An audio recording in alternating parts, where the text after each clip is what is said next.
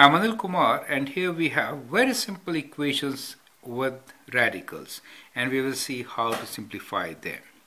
First question is x square root 2 equals to 10. Then we have x over square root 3 equals to 15.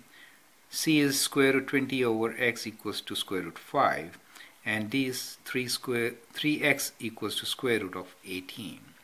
So we have placed x in different positions. One is like something as a product, then as a quotient, and here x is in the denominator, right?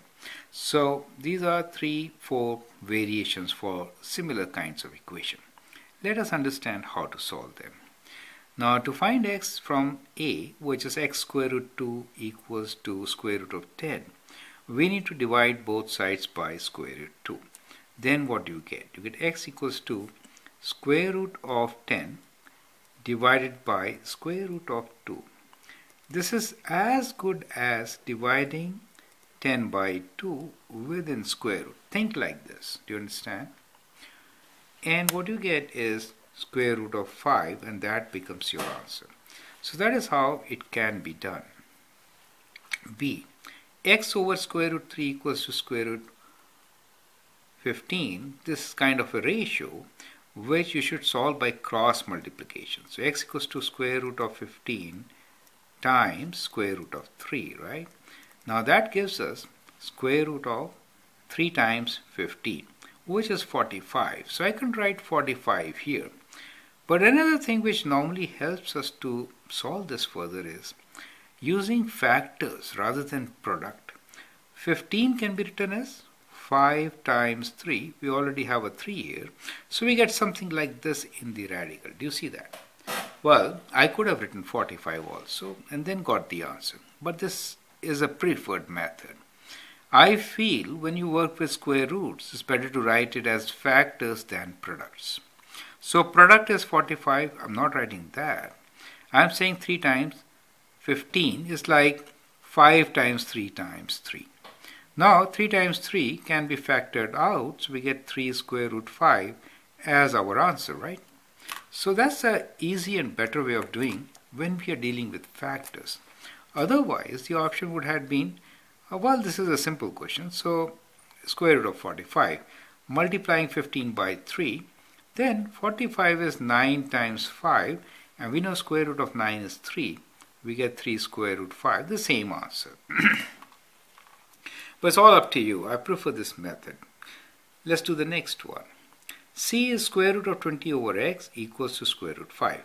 Whenever it is kind of a ratio, cross multiply. So we have square root of 20 divided by square root of 5 will give us x, right? So just interchange their position. So 20 divided by 5 is 4.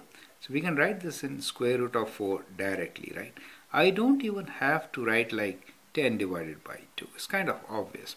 Once you do this these questions a couple of times, you will get a feel of it, right? Now square root of 4 is 2, so we get x equals to 2 as our answer, right? So that is how you can do it.